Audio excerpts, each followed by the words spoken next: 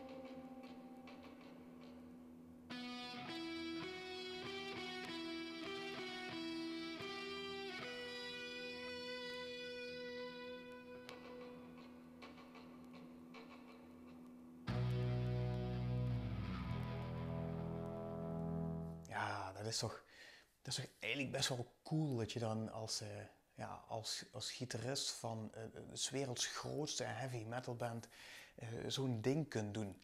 Ehm, ik kan me nog goed herinneren dat er ook zo'n andere persoon was geweest, Jason Newsted, de bassist van Metallica, die eigenlijk nooit werd geaccepteerd. Ja, die had dat ook een keertje gedaan. Die begon ook een eigen projectje, Echo Brain. En uh, daar was uh, James Hetfield niet van gediend. En toen werd hij de band uitgebonjourd. Nou, ben benieuwd of uh, Kirk Hammett er nog bij blijft. Maar dat zal wel goed komen. Die, zijn ze zoveel jaren verder. Rest mij nog maar één ding te zeggen. Keep safe. Keep healthy. Wel trusten.